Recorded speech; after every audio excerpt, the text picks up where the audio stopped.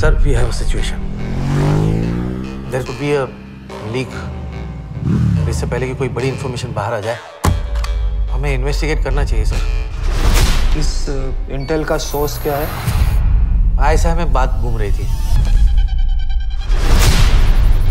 saint Stephen and Harvard university में पढ़ी सुहाना भाटिया इस देश की सबसे युवा डेप्यूटी हाई कमिश्नर बनने जा रही हैं कुछ लोगों का कहना है कि सुहाना के अपॉइंटमेंट में नेपोटिज्म का काफ़ी हाथ है। Who's सरनेम के अलावा इसके पास है क्या? आपको भी लगता है मैं ये पोजीशन डिजर्व नहीं करती। आईएफएस जैसे ब्यूरोक्रेटिक ऑर्गेनाइजेशन में तुम्हारी उम्र में ऐसा पोस्ट मिलना इज़ अनयूजुअल चल पेपर दे। क्या सोचा तुमने? बच जाओगे? यार मुझे सोचने के पैसे नहीं मिलते। आई गेट पेड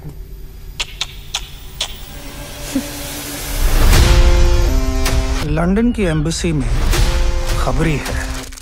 जब तक मेरी ऑफिशियल क्लियरेंस न मिले everyone is a suspect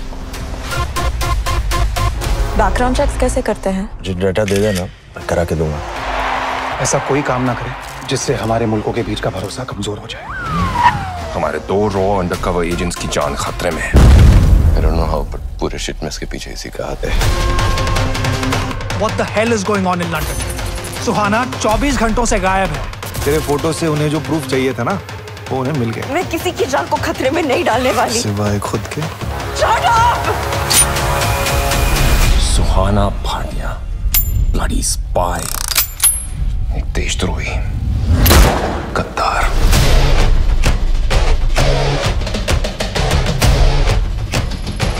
Always showing your innocent face. You think it'll work with me?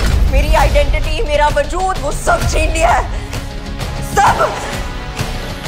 मुझे बस किसी बली की बकरी की तरह फंसाया और तो अब ये बकरी क्या करेगी? पूरा का पूरा शेर खा जाएगी।